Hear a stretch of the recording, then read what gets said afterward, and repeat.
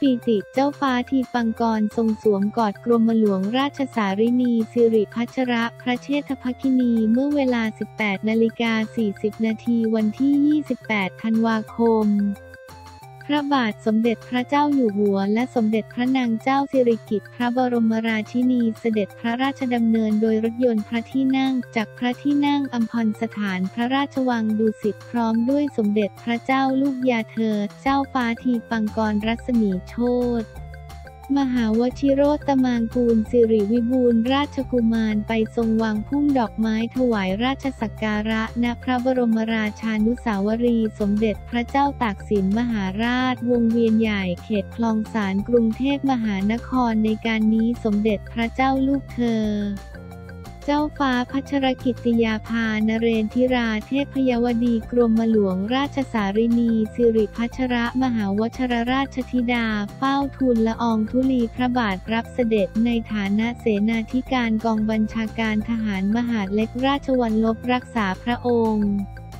หน่วยบัญชาการถวายความปลอดภัยรักษาพระองค์ ทรงปฏิบัติหน้าที่ผู้บังคับแถวทหารกองเกียรติยศ รับส่งเสด็จโดยในการเสด็จพระราชดำเนินมาทรงวางพุ่มดอกไม้ถวายราชสักการะ พระบรมราชานุสาวรีย์สมเด็จพระเจ้าตากสินมหาราช ในวันนี้พระสบนิกรที่มาเฝ้ารับเสด็จได้เห็นภาพที่ประทับใจสมเด็จพระเจ้าลูกเธอเจ้าฟ้าพัชรกิติยาภานเรนทิราเทพยวดีกรมหลวงราชสาริณีสิริพัชรมหาวัชรราชธิดา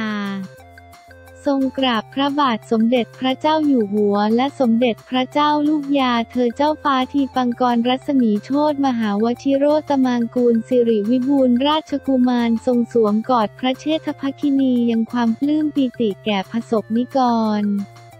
ที่ได้เห็นพระจริยวัตรอันงดงามของพระราชธิดาและพระราชโอรสทั้งสองพระองค์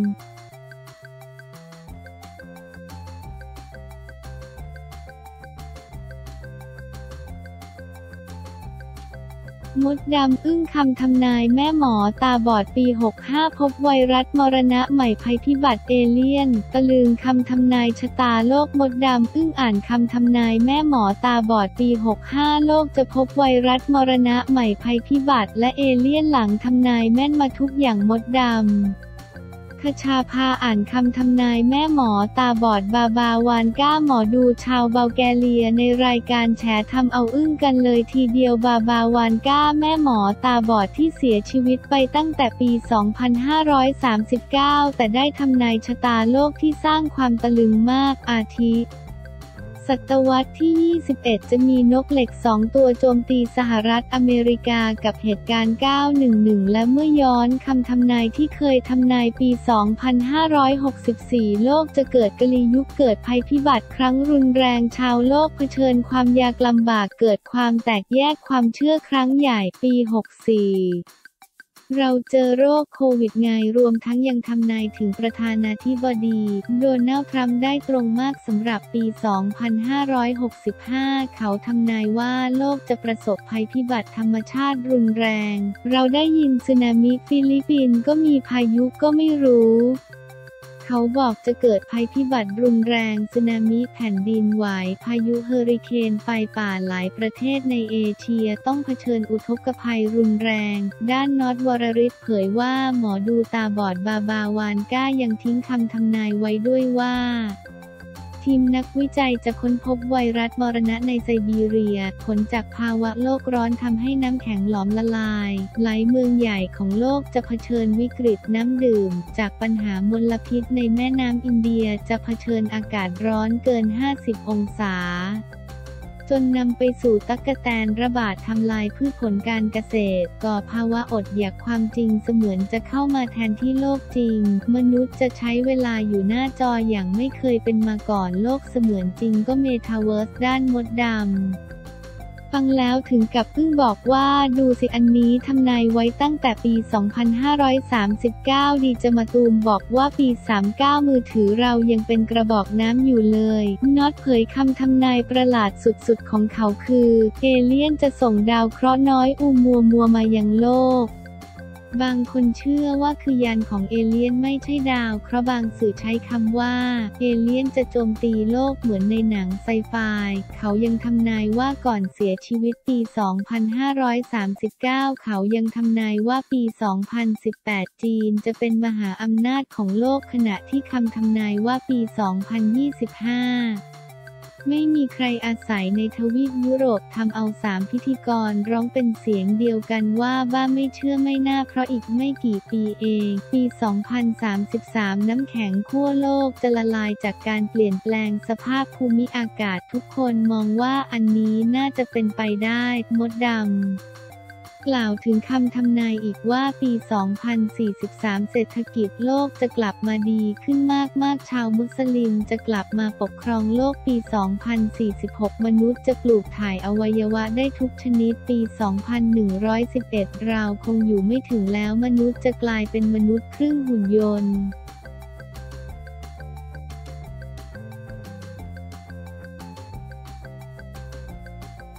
เจ๊บัวบานสาบานวูบไม่ตั้งใจล้มใส่เหล้าปมฉุนขายโรงเย็นเจ้าอาวาสอภัยไม่เอาสามล้านแล้ว เจ๊บัวบาน สาบานยันวูบเป็นลมจริงไม่ได้ตั้งใจเทอาหารใส่เจ้าอาวาส ด้านเจ้าอาวาสให้อภัยไม่เอาแล้วสามล้านเล่าปมโมโหจะขายโรงเย็นของวัดกรณี เจ๊บัวบาน หรือนายกิจเหมรัตโพธิยาคำหอม อายุ 48 ปี สาวประเภทสองใช้ถาดใส่อาหารเทใส่ พระประเสริฐฐานุตโร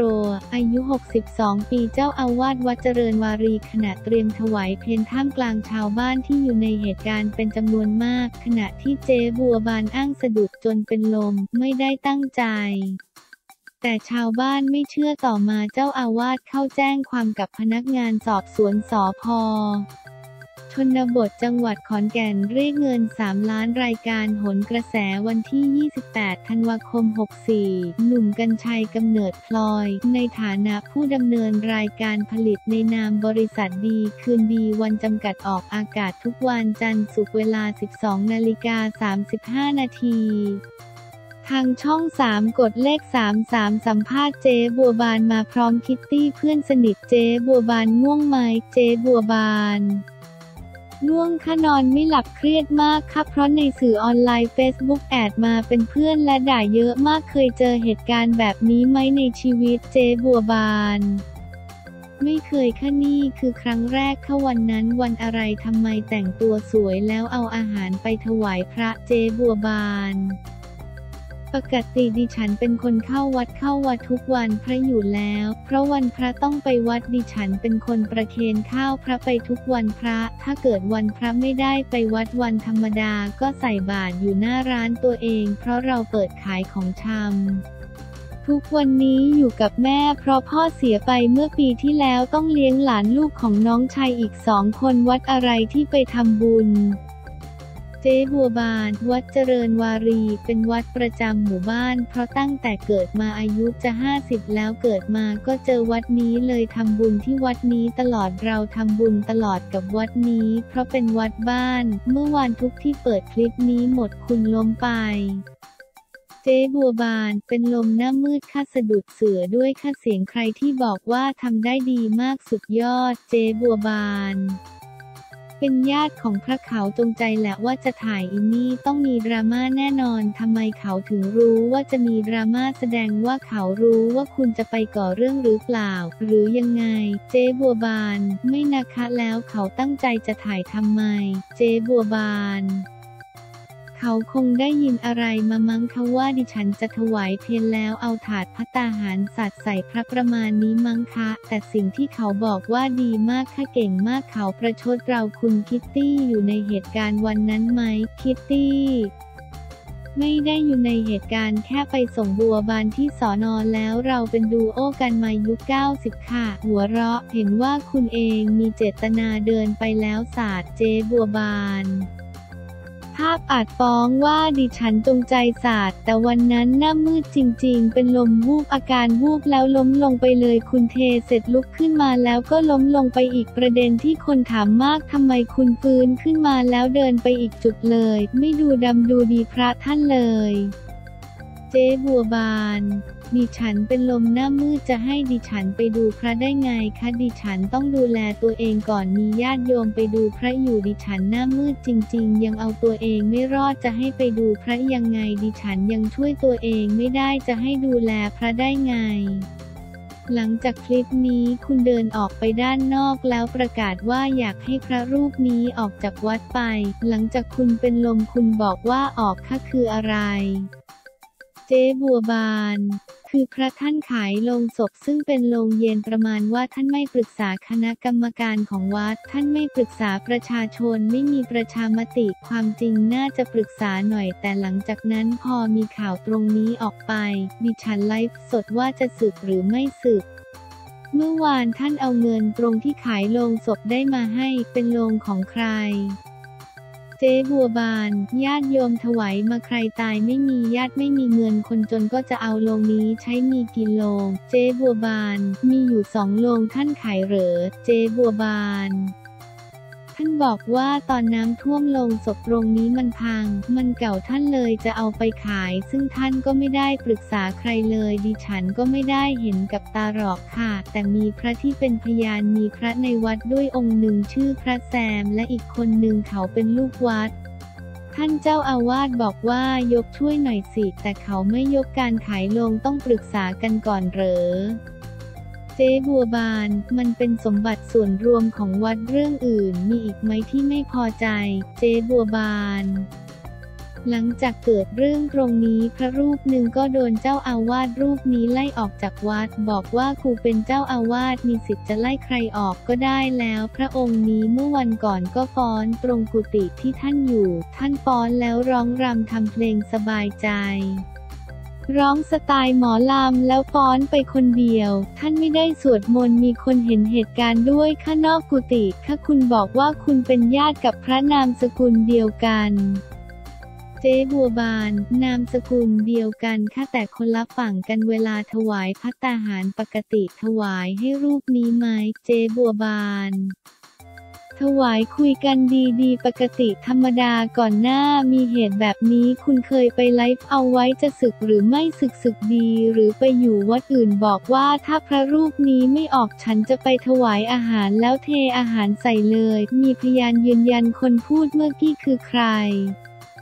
เจ๊บัวบาน ผู้ถ่ายคลิปและเป็นญาติพระชื่อเล่นชื่อน้องมันค่ะเขาบอกเคยเห็นคุณพูดแบบนี้เคยพูดไหมเจ๊บัวบาน ไม่เคยค่ะคิตตี้รู้ไหมเพื่อนกับพระมีปัญหากัน คิตตี้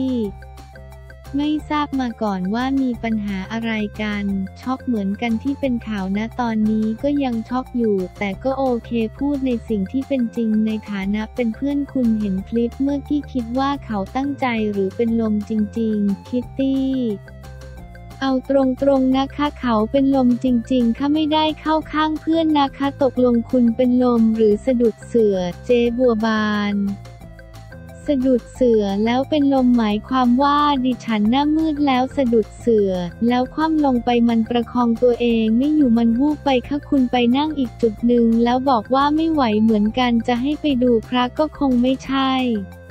แต่คุณไม่ได้หันไปมองพระเลยนะ แล้วในถาดมีแกงอะไร เจ๊บัวบาน แกงอีสานซึ่งไม่มีความร้อนเลยค่ะประเพณีบ้านเราใครมาก่อนก็ตักใส่เผ็ดไหมพระบอกแสบตามาก เจ๊บัวบาน อาจจะเผ็ดเพราะเป็นลาบอีสานแต่ความร้อนไม่มีสงสารท่านคดิฉันต้องขอกราบอภัย จริงๆ ยกมือกราบดิฉันไม่ได้มีเจตนาไม่ได้ตั้งใจจะทำอย่างนั้นดิฉันเป็นลมหน้ามืดจริง ๆ ดิฉันวูบไปวูบหนึ่งดิฉันได้ขอโทษไปเรียบร้อยแล้วด้วย ดิฉันจะไปตั้งขันแปดขันห้าไปไหว้ท่านกราบท่าน ให้ออกสื่อได้เลยข้าจะกราบงามๆเลยข้าขอขมาท่านดิฉันไม่ได้ตั้งใจดิฉันไม่ได้จงใจให้เกิดเหตุการณ์แบบนี้นะคะวิดีโอคอลหาพระประเสริฐ คู่กรณีเจ๊บัวบานตอนนี้เป็นยังไงบ้างพระประเสริฐ ปวดศีรษะนิดๆตอนเขาเอาถาดเทโครมใส่แสบตาปวดแสบปวดร้อนยังไงบ้างพระประเสริฐมันเย็นหมดแล้วแต่แสบตาเผ็ดไหมก็ไม่รู้แหละคิดว่าเจ๊บัวบานตั้งใจเทใส่หลวงพ่อไหมพระประเสริฐไม่รู้คิดว่าตั้งใจเตรียมการล่วงหน้าแล้วละมัง้ง โยมบัวบานอยากให้หลวงพ่อลาออกจากวัดเพราะเอาโลงเย็นไปขายจริงไหมพระประเสริฐ เรื่องจริงเอาไปขายจริง ๆ เพราะมันใช้ไม่ได้ขายไปลง 400 บาทขายไปลงเดียวอีกลงหนึ่งไม่รู้ใครจะมาใช้จะเอายังไงบัวบานเขาขอโทษเขากราบขอขมาจะยกขัน 8 ขัน 5 ไปไหว้เจ๊บัวบาน ดิฉันไม่ได้มีเจตนานะคะหลวงพ่อ ยกมือไหว้ ขอกราบขอขมาเป็นลมหน้ามืดขอโทษขออภัยจะอภัยดิฉันลูกหลานไม่เป็นคนบ้านเดียวกันนะคะหลวงพ่อ พระประเสริฐหนึ่งอภัยเจ๊บัวบาน ขอบคุณหลายๆค่ะหนูไม่ได้ตั้งใจไม่ได้เจตนากราบหลวงพ่อครั้งที่หนึ่งกราบหลวงพ่อครั้งที่สองกราบหลวงพ่อครั้งที่สามเดี๋ยวจะเอาขันห้ากลับไปไหว้หลวงพ่อเด้ออภัยไหมพระประเสริฐอภัยสามล้านจะเอาไหมพระประเสริฐไม่เอาหรอกเจ๊บัวบาน กราบขอบพระคุณค่ะจริง ๆ แล้วเป็นญาติกัน พระประเสริฐ เป็นญาติกันไม่โกรธขอคุยกับคุณมันธนาสถิวัฒะคนที่ถ่ายคลิปวันนั้นพี่คิดว่าตั้งใจไหมมันธนา ตั้งใจหรือไม่ตั้งใจอยากให้คลิปที่แชร์ออกไป ให้ช่วยตัดสินหลายๆ สายตาในโซเชียลว่าพี่เขาตั้งใจหรือไม่ตั้งใจ เพราะถ้าบอกไม่ตั้งใจมันดูค้านสายตาเรื่องของเรื่องติดตามคุณพี่บัวบานเขาไลฟ์สดติดตามทุกวัน มีครั้งหนึ่งตอนท้ายๆพี่บัวบานเขาพูดว่าจะรวมพลไปขับไล่ท่านเจ้าอาวาสจะออกไม่ออกจะสึกไม่สึกแล้วมีคนคอมเมนต์มาคุยกับพี่เขาพี่เขาก็ตอบว่ากูประเคนข้าวทุกมื้อ ก็ติดตามพี่เขาไลฟ์สด วันพระพี่เขาบอกว่าเชิญญาติโยมออกไปทุกหลังคาเรือน ออกไปช่วยขับไล่ท่านเจ้าอาวาสฉันกับพี่สาวก็ไปทำบุญที่วัดตามปกติ และจับสังเกตอาการคุณพี่บัวบานอยู่ว่าเขาจะทำอะไรไหม หรือเขาไลฟ์สดพูดเล่น แต่พอถึงเวลาประเคนอาหารพระคุณพี่เขาก็ถือสำรับกับข้าวและเห็นคุณพี่เขามองเจ้าอาวาสฉันก็คิดว่าหรือคุณพี่เขาจะทำจริง ก็เลยตั้งกล้องก็ได้ภาพที่ไม่คิดว่าจะเกิดขึ้น พอภาพหลุดออกไป ดิฉันก็พูดประชดว่าเขาทำได้ดีมาก ตอนนั้นเกิดอารมณ์ฉุนโมหมาก ไม่คิดว่าจะเกิดเหตุการณ์เหมือนที่เขาพูดไว้ ไม่คิดว่าเขาจะทำจริง ๆ ค่ะฝั่งที่มันบอกว่าคุณเคยพูดไปก่อน วันนี้ไปทำจริงเคยเห็นพฤติกรรมและอากับกิริยาก็ตั้งถ่ายไว้เลย เพราะคิดว่าคุณเทแน่และคุณก็เทจริง ๆ จะแก้ตัวยังไง เจ๊บัวบาน ถ้าดิฉันได้พูดตรงนั้นออกไปก็ดูจะประจวบเหมาะเกินไปค่ะเหมือนเราตั้งใจที่จะทำอย่างนั้น แต่ความจริงอยากบอกว่ามันเป็นอุบัติเหตุ ดิฉันวูบจริง ๆ ดิฉันขอยืนยันตรงนี้ขอกราบขออภัยน้องมันธนาที่ได้ล่วงเกินน้องมันธนาไป ขอโทษนะคะน้องยกโทษให้ได้ไหมคะมันธนา ได้ค่ะดิฉันไม่ได้มีเรื่องบาดหมางใจอะไรกับคุณพี่นะคะ ที่ฉันตั้งกล้องถ่าย เพราะฉันติดตามคุณพี่อยู่ และเห็นคุณพี่ถือสำรับกับข้าวที่จะไปประเคนเจ้าอาวาสอยู่แล้ว ดิฉันดูแล้วเหมือนจะมีอะไรผิดปกติอะไรสักอย่างก็เลยตั้งกล้องถ่ายภาพ แล้วก็ได้ภาพที่ไม่คิดว่าจะได้ตามที่คุณพี่กล่าวไว้ล่วงหน้าประมาณ 2-3 วันค่ะดิฉันก็เลยชื่นชมคุณพี่ว่าทำได้ดีมาก สุดยอด ดิฉันจะพูดไม่สุภาพก็ไม่ใช่คนก้าวร้าวก็พูดอะไรไม่ได้มากไปกว่านี้ แล้วสงสารท่านเจ้าอาวาสมากๆ ด้วยค่าเจ้าอาวาสอภัยให้เงินสามล้านก็ไม่เอาด้วยเจ๊บัวบานกราบขอบพระคุณค่ะแม่ค้าตัวน้อยน้อยกำไรก็ไม่ได้มากอะไรกว่าจะได้เงิน แต่ละบาทต้องเลี้ยงแม่เลี้ยงหลานอีกสองคนเขาต้องเรียนหนังสืออีกได้บทเรียนอะไรไหมเจ๊บัวบาน ได้บทเรียนก่อนที่เราจะพูดอะไรออกไปให้เราคิดก่อนพูด ถ้าเราพูดไปปุ๊บคำพูดจะเป็นในของเรา กรณีที่ไปล้ม เจ๊บัวบาน ยืนยันว่าเป็นลมวูบหมดสติกล้าสาบานไหม เจ๊บัวบาน